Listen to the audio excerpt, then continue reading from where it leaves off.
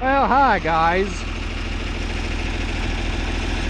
Doing a little moving equipment day today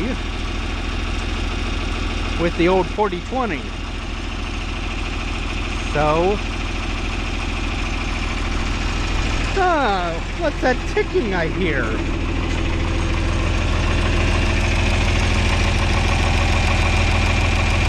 I don't know. Let's get on with the show. Not every time do you wind up getting lucky. Look at that. I love it. We don't need to hook nothing up because it's already sitting on the transport locks. All we got to do is pull it out and shut the doors.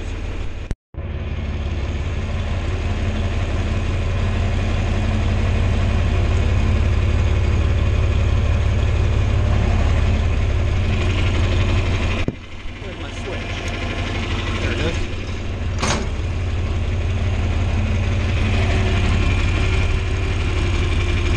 There it comes.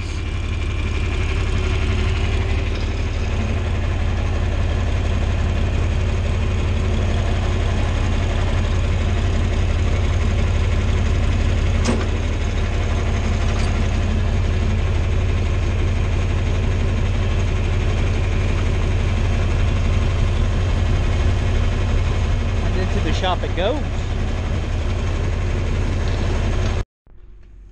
There it be.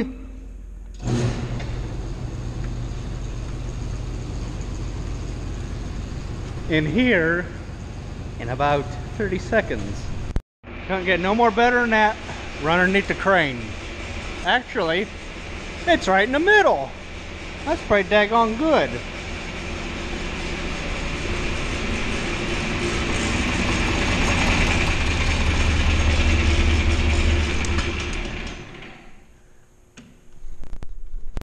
So it's gonna be our winter project is rebuilding this thing. Um, those there disc blades and not sure what's in the box. Probably pins and bushings. I don't know. I don't know what we're gonna do about cylinders, or maybe those are the brackets for. Maybe he got new brackets for. I don't know. I don't know. But she's tired.